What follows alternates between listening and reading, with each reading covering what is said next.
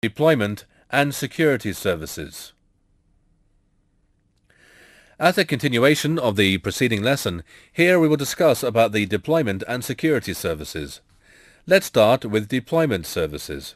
Deployment services in Java EE allow the components and applications to be customized at the packaging and deployment time. A Java EE application consists of one or more Java EE modules which are made of various Java EE components, and each component contains a deployment descriptor, which is an XML file. This XML file describes how to assemble and deploy the application components. Deployment descriptors also contain many elements to customize the Java EE platform services, such as transactions and security. If any of the Java EE modules don't have an application deployment descriptor, then it can be deployed as a standalone Java EE module. Generally, a Java EE application consists of one or more Java archive or JAR files along with zero or more resource archive or AR files, which are packaged into an enterprise archive EAR file with .EAR extension. Let's look at the various modules in an application one by one. Let's start with Enterprise Java Beans modules. These modules contain class files for Enterprise Beans EJB deployment descriptor. EJB modules are packaged as JAR files with a .jar extension. Web modules contains JSP files, class files for servlets, GIF and HTML files a web deployment descriptor, web modules are packaged as JAR files with a .war or WAR extension, Web Archive. Resource Adapter modules. It contains all Java interfaces, classes, native libraries, and other documentation, along with the Resource Adapter deployment descriptor. It also implements the connector architecture for a particular EIS resource adapter module, and they're packaged as jar files with a .rar extension, Resource Adapter Archive. Application Client Modules. These modules contain class files and an application client deployment descriptor. Application client modules are packaged as jar files with a .jar extension. Next, we move on to discuss about the security services. Security services. Java EE platform security services are designed to ensure that the resources are accessed only by the authorized users. Normally, the access control is obtained in two steps. They are authentication and authorization. Authentication the purpose of authentication is to check the identity of a user. User might be another program, usually doing this by providing the username and password. The authentication can be carried using any of these ways, i.e. HTTP basic authentication, digest authentication, form-based authentication, and certificate authentication. Just providing username and password is the basic authentication. Digest authentication is the same as basic authentication, but here we will transmit the password in an encrypted form, which is much more secure than the simple base64 encoding used by basic authentication. In form-based authentication, the web container can provide an application-specific form for login. Finally, in certificate authentication, the client uses a public key certificate to establish its identity.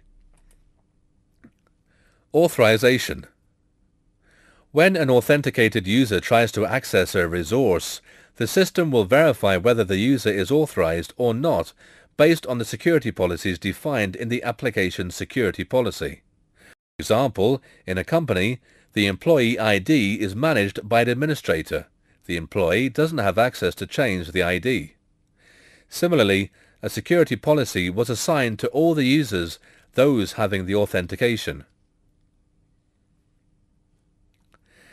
Let's look at the Java EE component that provides these services, i.e. JAAS or JAAS, Java Authentication and Authorization Services.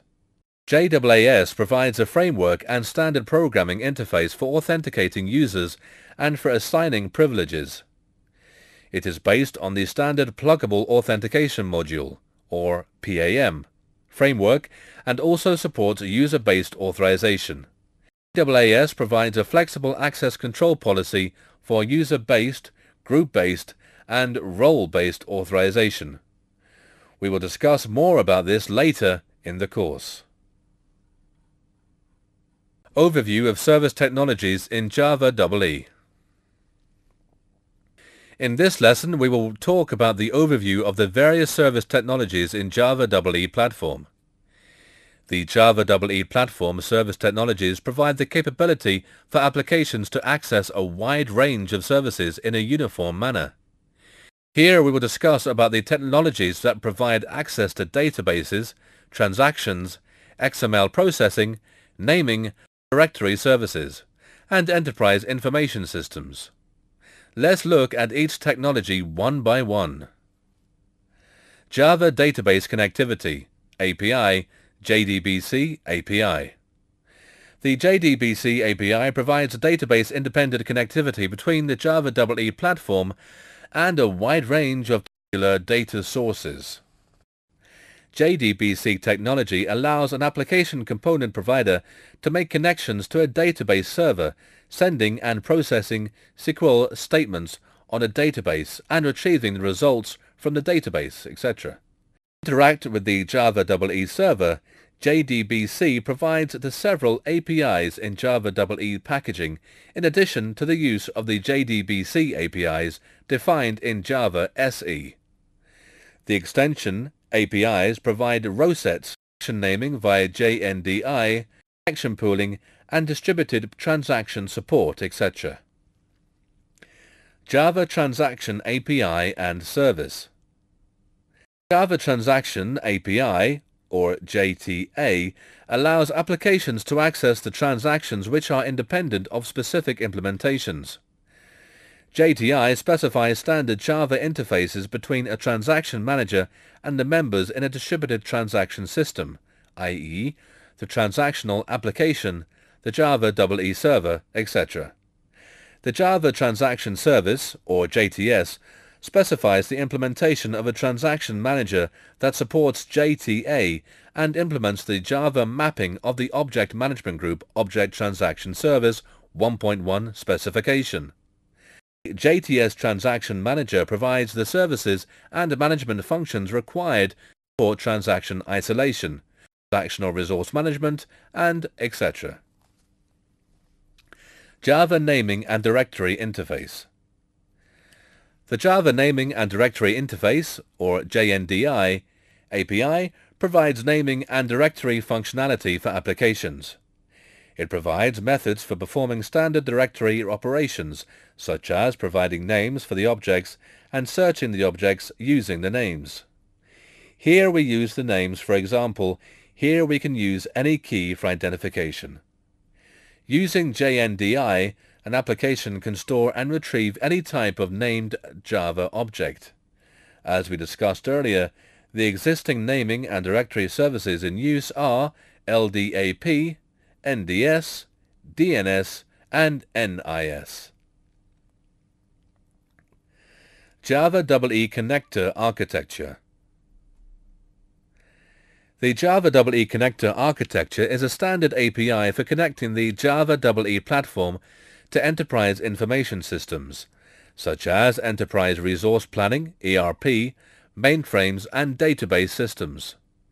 It defines a set of scalable, secure, and transactional mechanisms for integrating an EIS with a Java EE platform.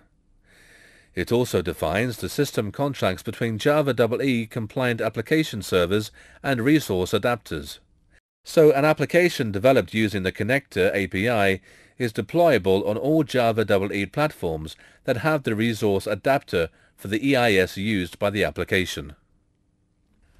Java API for XML Processing Technology, JAXP. This technology supports the processing of XML documents using DOM, SAX, and XSLT. Don't confuse this with these abbreviations. Just remember, we will discuss later in detail. JAXP enables applications to parse and transform XML documents independent of a particular XML processing implementation. We can also make our own application flexible by swapping between the XML processors, such as between high-performance or memory-conservative parsers, without changing anything in the application code. Let's move on to discuss about the communication technologies in Java EE platform.